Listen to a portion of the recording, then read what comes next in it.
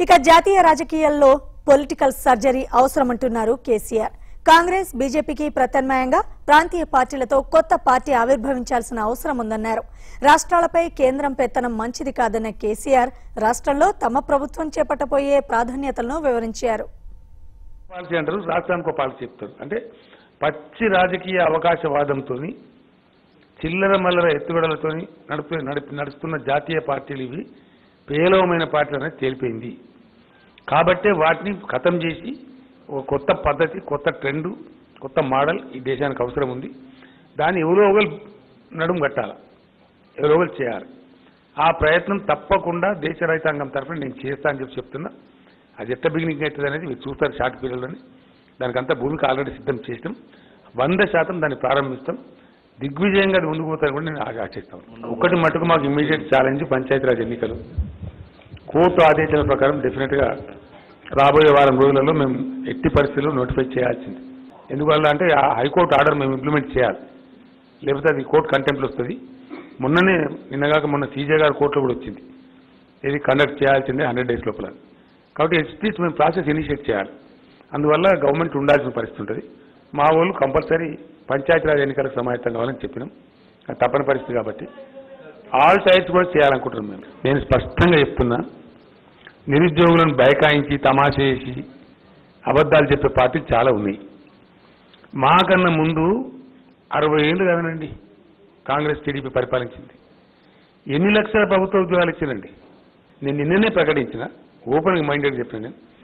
ఎన్ని ప్రభుత్వ ఖాళీలు అయితే ఉన్నాయో అవి ఏమైనా కావచ్చు. హండ్రెడ్ పర్సెంట్ అగమేఘాల మీద ఇప్పుడు దాన్ని చేసేస్తాం. ఇంకోటి కూడా చెప్తున్నాను నేను. పబ్లిక్ సర్వీస్ కమిషన్ అగాధమైనటువంటి పిచ్చి పిచ్చి పనులు కొట్టుకొని కొన్ని వాళ్ళు చేయలే.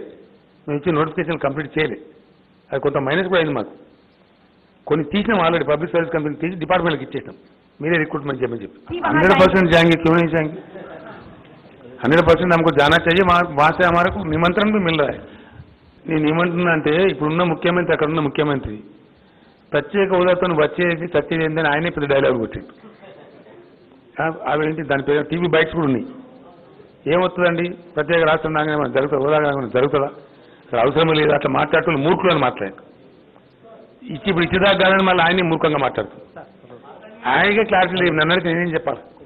ప్రతి న- ఇంటికి నల్లా ఇచ్చి నీళ్ళు అయిపోతే నేను ఓట్లాడగా అని చెప్పాను అసెంబ్లీలో. Yes I stand by it నా టైం వాస్తవానికి జూన్. అంతే కదా? నా టైం వాస్తవానికి జూన్.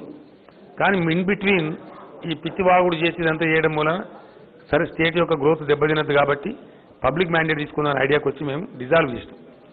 అయినప్పటికీ మా కమిట్మెంట్ పార్లమెంట్లో ఎన్నికలు అడిగేది ఆ టైం హండ్రెడ్ పర్సెంట్. వందకు వంద శాతం రేపటి నుంచి సీరియస్గా పడతాం ఇప్పుడు రెగ్యులర్ గవర్నమెంట్ మళ్ళీ వచ్చినాం కాబట్టి. By end of April hundred percent దాన్ని కంప్లీట్ చేస్తాం. ఈ టర్మ్లో మాత్రం గ్యారంటీ రెండు పనులు చేస్తామండి. ఇప్పుడు రాష్ట్రం యొక్క ఫేస్ పాజిటివ్ ఫేస్ అని వెళ్ళిపోయింది. మన గ్రోత్ ఎకనామిక్ గ్రోత్ ఉంది మనకి ఇన్వెస్ట్మెంట్ బ్రహ్మాండంగా వస్తుంది. మనం ఇండియాలో బెస్ట్ స్టేట్ అనే పేరు వచ్చింది. ఇప్పుడు మాత్రం ఎటువంటి అటు మాట్లాడదామంటే ఊకోం ఎవరు పడితే వాళ్ళు కుక్కలు మురిగినట్టు కొడతామంటే ఊరుకోం. దానికి ట్రీట్మెంట్ ఉంటుంది గ్యారంటీ రెండవది ఈ ఈ దొంగల భర్తం కూడా గ్యారంటీగా పడతాం. ఎవడెవడు ఏం వేసిండో అన్ని కక్కిస్తాం పక్కా. అందులో అనుమానం